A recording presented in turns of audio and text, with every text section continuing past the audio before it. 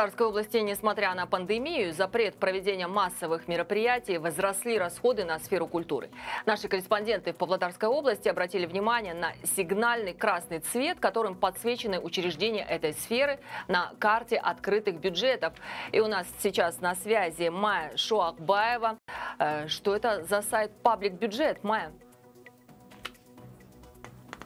Добрый вечер, коллега, конечно, расскажу. Карту открытых бюджетов Public Budget KZ, как известно, запустили в 2019 году. Это интерактивный сайт с информацией о бюджетах всех учреждений для того, чтобы каждый гражданин мог, к примеру, зайти и увидеть, сколько Акимат затратил на ремонт дорог в его родном поселке. Примечательно, что карта превышение расходов подсвечивает красным цветом. И вот, как выяснилось, в 2020 году расходы в сфере образования при Иртышье из-за пандемии снизились в среднем на 50, местами 100%, а в сфере культуры, напротив, возросли.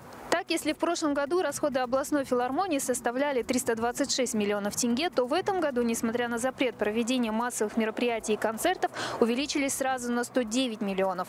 Карта зафиксировала рекордное отклонение на 330% от средней республиканской нормы. В управлении культуры поясняют, что несмотря на пандемию, онлайн-концерты проводились, и деньги на их съемку и телевизионный прокат также затрачивались. Кроме того, в этом году увеличилась заработная плата артистов. О сфере культуры, по словам чиновников, фонд оплаты труда составляет в среднем 70% от всех расходов.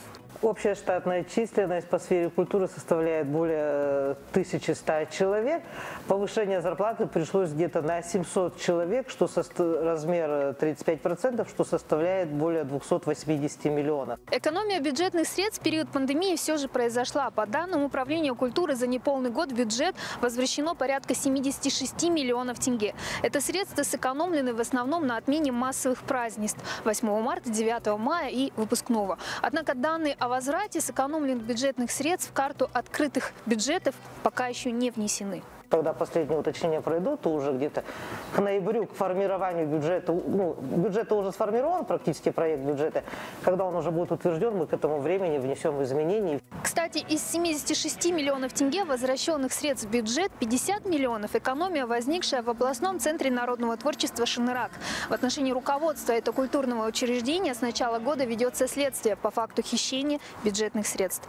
У меня на этом все. О затратах сферы культуры в период пандемии. Студия. Спасибо, Майя. Пандемия действительно заставила всех считать деньги и помогать тем, кто сейчас в сложной